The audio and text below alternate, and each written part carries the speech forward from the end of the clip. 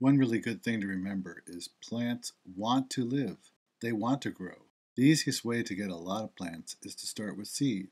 These may be seeds that you purchased or ones that you saved from your own garden plants. For example, from Nicotiana seeds. Most books recommend starting seeds in flats, but I don't do that. I start all my seeds in three and a half inch plastic pots filled with media right up to the top of the pot. And you can see how I've spaced the small seeds up to a hundred of them and larger seeds below. Now here's the real trick. I cover the top of the pots with a very thin layer of chicken grit, and I haven't had a single case of damping off disease since. If you can't find grit, you can use parakeet gravel from the grocery store. You need to have a place for the seedlings to come up. Tender plants like annuals should go under lights in a warm place. And if they're hardy plants, you can sow them and put them right outdoors in a box or frame covered with screen.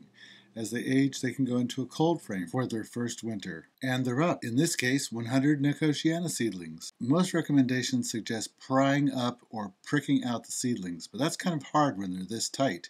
It's so much easier just to tilt the pots over on their sides, slip out the medium, and peel off the seedlings holding their first true leaves. Then you can pot them up individually and watch them grow. Collecting fruits from my own Nicotiana plants is how I got my incredible brown Nicotiana flowers. Sowing seeds is a great way to get new plants and many, many more of them for my own garden in New Jersey.